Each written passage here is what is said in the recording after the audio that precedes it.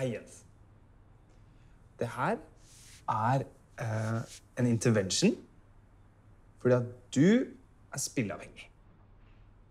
Og vi har undersøkt det her ganske nøye, og det vi har funnet ut, er at eh, hvis man er arbeidsledig og spilleavhengig, så kan det fort lede til depresjon. Ok, gutta, Dere har misforstått helt. liksom. Jeg er jo ikke spilleavhengig. Jeg er ikke deprimert. Du vil ikke ha maten jeg gir deg, du tisser i en flaske. Altså, du oppfører deg jo som en, eh, som en slamp. Slamp. Du begynner å si slamp nå, Mathias. Ja, Er det det vi skal henge oss opp i nå? Altså, Det virker som at det har blitt helt uh, altså, Jeg vet ikke hva jeg Taper. Ok, så jeg er en taper. Hva, med, hva har du gjort i dag, Mathias? For de 900 000 du får av mammaen min? Det er ikke Det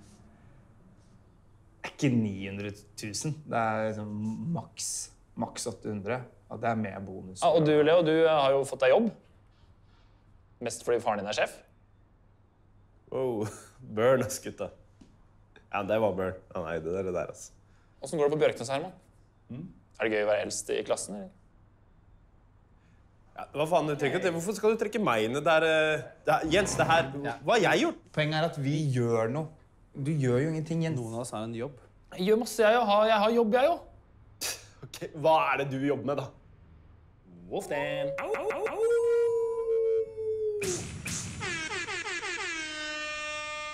Ja, men det her er jo ikke jobb.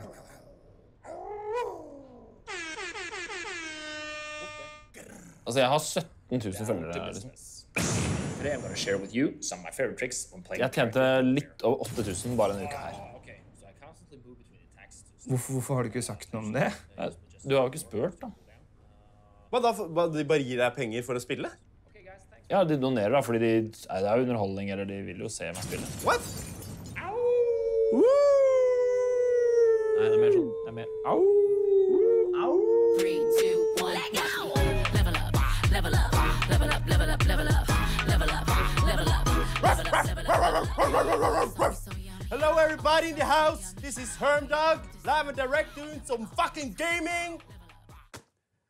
Jens, Ja. hvor lenge er det til man får spenn og sånn?